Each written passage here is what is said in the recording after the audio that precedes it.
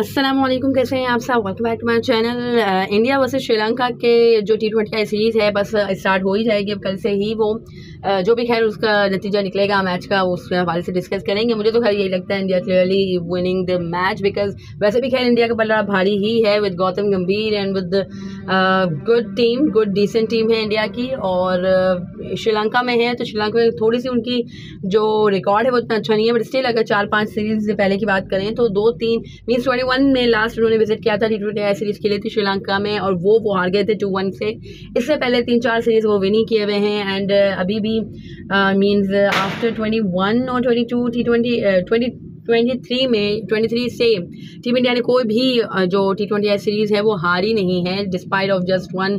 T twenty series against West Indies इसके अलावा और कोई टी ट्वेंटी सीरीज़ इंडिया नहीं हारा है जस्ट एक मैच इंडिया ने लूज़ किया है टी ट्वेंटी आई फॉर्मेट में ट्वेंटी ट्वेंटी फोर में. सो आई थिंक अभी भी इंडिया अपनी विनिंग स्ट्रीक कंटिन्यू रखेगा. और श्रीलंका, खैर, वैसे भी इतना ज़्यादा मुझे नहीं लगता कोई कॉम्पिटिशन दे सकेगी इंडिया को बट स्टिल है कि उनके दो प्लेयर्स भी मेन प्लेयर्स भी इंजर्ड हो चुके हैं, जिसमें तुशाना शामिल हैं, दुश्मान था चमीरा भी शामिल है। सो आई थिंक मजीद है कि श्रीलंका के जो चांसेस हैं वो कम हो गए बट स्टिल अगर कंडीशंस फेवरेबल हुई टीम श्रीलंका के लिए तो आई थिंक टीम इंडिया के लिए थोड़ी सी परेशानी का बायस हो सकते हैं team Sri Lanka. What you think मुझे कमेंट सेक्शन में ज़रूर बताइएगा। इसके अलावा जूनियस खान साहब कहते हैं, विराट कोहली के हवाले से, कि विराट कोहली ने अपने करियर में बहुत कुछ अचीव कर लिया है। जस्ट एक चीज़ जो रह गई है, उनको लगता है, वो ये है कि वो पाकिस्तान में नहीं खेले अभी तक और पाकिस्तान में आके उन्होंने परफॉर्मेंस नहीं दी तो चैम्पियंस में डेफिनेटली उनको पाकिस्तान आना चाहिए एंड यहाँ पे आके परफॉर्म करना चाहिए because this is the only thing उन्होंने अपने करियर में नहीं की है and it should be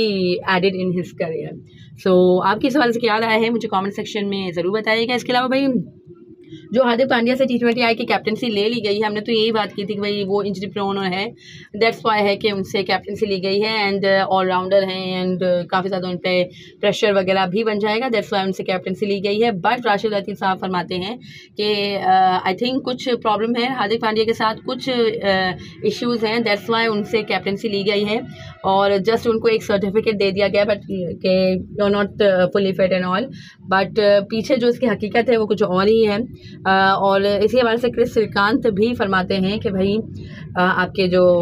means इतना ज़्यादा इंजरी के मसाइल नहीं है या इतना ज़्यादा फिटनेस के मसाइल नहीं है हार्दिक पांड्या के साथ because he is super fit we all know that and अगर इंजरी की बात होती है या अगर फिटनेस की बात होती है तो आपके सूर्या कुमार यादव भी रिसेंट पास में काफ़ी ज़्यादा इंजर्ड रह चुके हैं और जो एंकल इंजरी उनको थी, वो इतनी जल्दी मीन्स नहीं है। दोबारा है कि वो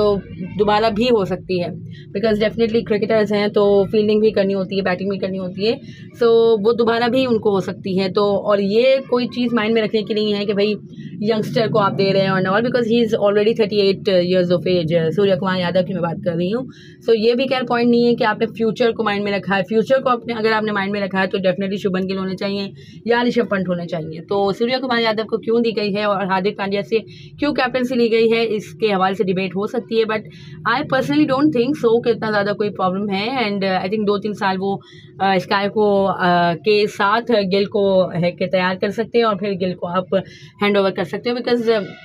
फ़ौरन से आप है कि बड़ी टीम क्या कह बिकॉज़ श्रीलंका बिल्कुल एक है कि बड़ी टीम है टेस्ट प्लेइंग नेशन है तो उसके अगेंस्ट आप गिल को नहीं कैप्टनसी दे सकते हो। सो आई थिंक दो तीन सीरीज़ में है कि स्काई के साथ आप जा सकते हो, उसके बाद गिल है कि will be your future captain what you think about it मुझे कमेंट सेक्शन में ज़रूर बताइएगा and subscribe my channel love take care